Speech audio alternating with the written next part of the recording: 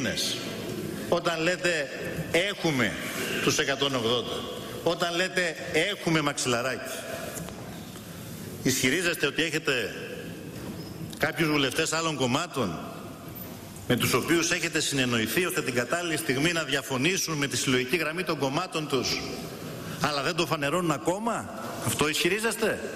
Αυτό λέτε. Σας πειράζει μόνο να ακούτε τη λέξη αποστασία. Ίσως γιατί σας ξυπνάει μνήμες άλλων εποχών, στις οποίες είχατε πρωταγωνιστήσει.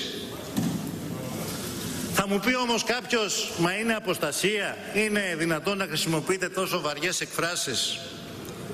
Όταν ένας βουλευτής, βρε αδελφέ, έχει το δικαίωμα να έχει άλλη άποψη από αυτή που έχει το κόμμα του μέσα από τις συλλογικές του διαργασίες και επεξεργασίες. Βεβαίως και μπορεί. Αλλά αν έχει άλλη άποψη, να βγει και να το πει και να καθαρίσει τη θέση του. Καθαρά, ντόμπρα και παστρικά. Και να το πει τώρα. Να το πει σήμερα. Που όλοι μας θα ψηφίσουμε αν αποδεχόμαστε ή όχι Παρακαλώ, να δώσουμε κύριε παράταση συνάδελφε. ζωής Παρακαλώ. στην κυβέρνηση ψηφίζοντας τον προϋπολογισμό. Και σας ρωτάω ευθέως,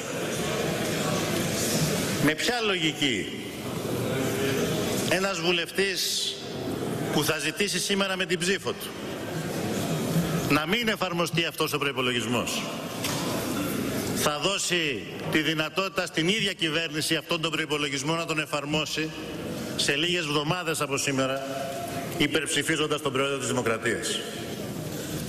Όταν καταψηφίζεις έναν προϋπολογισμό η ψήφος για τον προϋπολογισμό είναι μια κορυφαία πράξη στην κοινωνική διαδικασία. Όταν καταψηφίζεις έναν προϋπολογισμό ουσιαστικά ζητάς την άμεση παρέτηση της κυβέρνησης. Ισοδυναμεί με ψήφο εμπιστοσύνη στον προϋπολογισμός σου. Μπορείς να ζητάς παρέτηση της κυβέρνησης τον Δεκέμβρη αλλά παράταση της θητείας της τον Γενάρη και μάλιστα για άλλον 1,5 χρόνο. Ποια επιφύτηση του Αγίου Πνεύματος μπορεί να εξηγήσει μια τόσο σοβαρή μεταστροφή; Όσοι λοιπόν απορρίπτουν σήμερα τον προϋπολογισμό πρακτικά ζητούν άλλη πολιτική και προφανώς εξ όσων εγώ καταλαβαίνω από άλλη κυβέρνηση και εξ όσων εγώ γνωρίζω στις δημοκρατίες αυτό σημαίνει εκλογές. Άρα το όχι στον προϋπολογισμό σήμερα ισοδυναμεί με όχι στον πρόεδρο της Δημοκρατίας αύριο. Ένα όχι σήμερα που θα γίνει ναι αύριο, καθαρές κουβέντες, δεν δικαιολογείται παρά μόνο ως αποτέλεσμα μεθοδεύσεων. Και ας πάρει ο καθένας και η καθεμιά την ευθύνη του απέναντι στον ελληνικό λαό.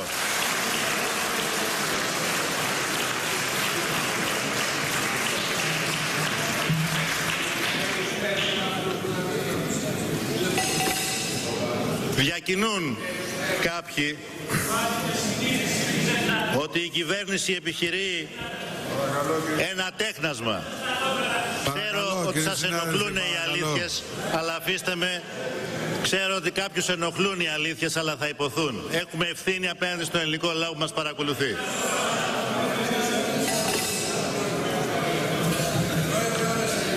Διακινούν κάποιοι, διακινούν κάποιοι ότι η κυβέρνηση είναι πιθανό να επιχειρήσει ένα τέχνασμα, μια εξαπάτηση.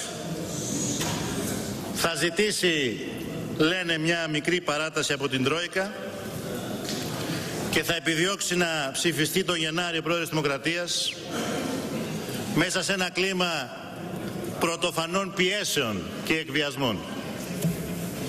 Εκβιασμών και πιέσεων σε συνεννόηση λένε με θεσμικά και εξωθεσμικά κέντρα μέσα και έξω από τη χώρα κατά τη διάρκεια που μεσολαβεί από την πρώτη ψηφοφορία ως τη δεύτερη και από τη δεύτερη ως την τρίτη. Με στόχο να δοθεί το άλοθη σε κάποιους που έχουν πιστεί αλλά είναι ντροπαλοί να το εκδηλώσουν να δικαιολογήσουν την αλλαγή της τάσης τους. Ακούστε, όποια παιχνίδια και να παίξετε σε συνεργασία με την Τρόικα και τους δανειστές προκειμένου να αποφύγετε τη λαϊκή τιμιγορία, ένα να ξέρετε. Ούτε θα ξεγελάσετε κανέναν, ούτε τη λαϊκή κατακραυγή θα αποφύγετε. Ο πρόεδρος από αυτή τη Βουλή και τα μέτρα, ο πρόεδρος από αυτή τη Βουλή και το μνημόνιο είναι το ίδιο πράγμα. Το ίδιο και το αυτό στη συνείδηση του λαού μας. Όποιος ψηφίζει πρόεδρο ψηφίζει συνειδητά παράταση του βίου της κυβέρνησης και ταυτόχρονα υπερψηφίζει και τα σκληρά προαπαιτούμενα που μπορεί κάποιοι να σκέφτονται ότι μπορεί να έρθουν μετά την ψηφοφορία για την εκλογή Προέδρου της Δημοκρατίας. Και επειδή έχουμε απόλυτη επίγνωση ότι οι δανειστές και η Τρόικα ένα στόχο έχουν να ψηφιστεί πρόεδρος από αυτή τη Βουλή ώστε να δοθεί παράταση ενός έτους στον κύριο Σαμαρά να συνεχίσει το καταστροφικό έργο αυτής της κυβέρνησης εμείς ξεκαθαρίζουμε. Και το ξεκαθαρίζουμε να το ακούσετε κι εσείς εδώ αλλά να μας ακούσουν και έξω. Η χώρα είναι μπροστά σε ιστορικές επιλογές. Και αυτές οι επιλογές δεν μπορεί κανείς δεν δικαιούται να σχεδιάσει να γίνουν ερήμην του ελληνικού λαού. Δεν θα δεσμεύσετε δεν έχετε το δικαίωμα να δεσμεύσετε το λαό και τη χώρα και κυρίως να δεσμεύσετε την επόμενη κυβέρνηση με τετελεσμένα και αποφάσεις που θα μας δένουν τα χέρια. Στη χώρα μας, τέσσερα χρόνια τώρα, διεξάγεται ένα οικονομικό πείραμα λαιλασίας και εξαθλίωσης που για να εφαρμοστεί απαιτούσε ένα πράγμα τη συρρήκνωση και την υποβάθμιση της δημοκρατίας. Η επιβολή της ισχύως και του δικαίου των αγορών προς όφελος μιας μικρής μειοψηφίας ισχυρών εντός και εκτός Ελλάδας δεν μπορούσε και δεν μπορεί να προχωρήσει. Με τον σεβασμό στο δημοκρατικό κεκτημένο, στο ευρωπαϊκό ευρωπαϊκό κεκτημένο λέω εγώ. Πρόκειται για ένα πείραμα που στην ουσία επιστρέφει την Ευρώπη πολύ πίσω. Στην εποχή των αυτοκρατοριών, πριν τα εθνή κράτη, όπου είχαν εξουσία ζωής και θανάτου πάνω στους ανθρώπους. Η βαθύτερη όμως αιτία για τη δίνη της κρίσης μέσα στην οποία βυθίζεται η χώρα μας και βυθίζεται χρόνο με το χρόνο ακόμα περισσότερο είναι το γεγονός ότι μια πολιτική τάξη φορτωμένη με αμαρτίες από το παρελθόν επέτρεψε να χρησιμοποιηθεί η χώρα ως τόπος ενός πειράματος για μια ζωφερή εκδοχή μέλλοντος που κάποιοι οραματίζονται για την Ευρώπη του αύριο. Το αν αυτή η πορεία θα συνεχιστεί για πολλά ακόμη χρόνια ή θα διακοπεί εξαρτάται από την ανοχή που θα δείξει ο λαός μας σε αυτή τη γερασμένη και διεφθαρμένη πολιτική τάξη. Εμείς είμαστε εδώ για να σταματήσουμε αυτή την πορεία προς την υποταγή της χώρας και την εξαθλίωση της κοινωνίας.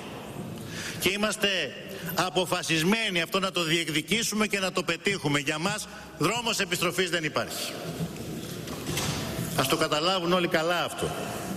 Είναι το δικό μας there is no alternative που έλεγε η κυρία Θάτσερ κάποτε. Εμείς δρόμο επιστροφής δεν έχουμε. Πιστεύω όμως ότι αν δεν ανακοπεί αυτή η πορεία τότε ούτε η χώρα θα έχει δρόμο επιστροφής. Οι συνέπειες μπορεί να παγιωθούν, να διαρκέσουν για χρόνια, για δεκαετίες, γι' αυτό η χώρα και ο λαός πρέπει να αντιδράσει και να διεκδικήσει ξανά την ισότιμη θέση που μας αξίζει μέσα στις δημοκρατίες της Ευρωπαϊκής Ένωσης. Και θα αντιδράσει η χώρα διότι ο λαός μας ήδη έχει αρχίσει και αντιδρά κλείνοντας τα αυτιά του στην κίνδυνολογία και στην τρομοκρατία.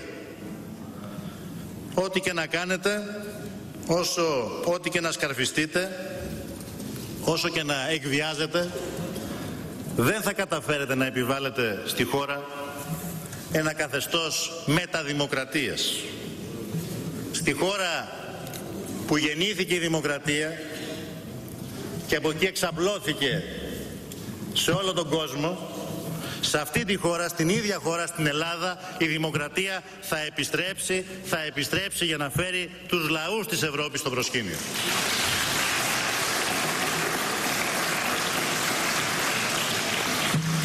Σας καλώ λοιπόν κυρίες και κύριοι συνάδελφοι η συμπολίτευση. Σας καλώ να προσφέρετε στη χώρα την τελευταία θετική υπηρεσία που σας απομένει.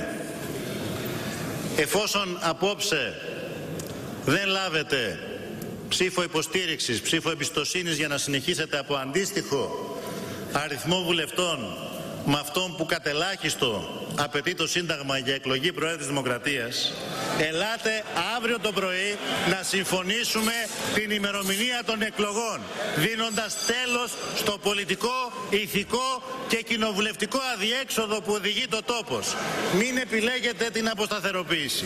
Επιλέξτε το δημοκρατικό δρόμο, διότι ο δημοκρατικός δρόμος είναι που οδηγεί σε διέξοδο. Όλα τα άλλα είναι αδιέξοδα και έχουν κοντά ποδάρια.